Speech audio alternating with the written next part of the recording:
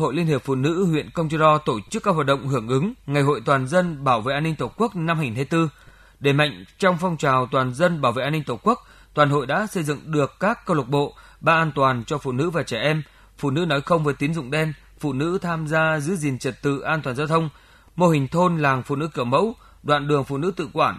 tổ chức tuyên truyền các quy định của pháp luật và trách nhiệm tham gia bảo vệ, giữ gìn an ninh quốc phòng cho 1.325 lượt hội viên phụ nữ và nhân dân tham gia. Dịp này, Chủ tịch Ủy ban Nhân dân huyện Công Chơ tặng giấy khen cho một tập thể, một cá nhân thuộc Hội Liên Phụ nữ huyện có thành tích trong thực hiện phong trào toàn dân bảo vệ an ninh Tổ quốc năm 2024. Ban chỉ đạo phòng chống tội phạm, tệ nạn xã hội và xây dựng phong trào toàn dân bảo vệ an ninh Tổ quốc tỉnh, huyện đã có những phần quà cho Hội Liên Phụ nữ huyện và hội viên phụ nữ nghèo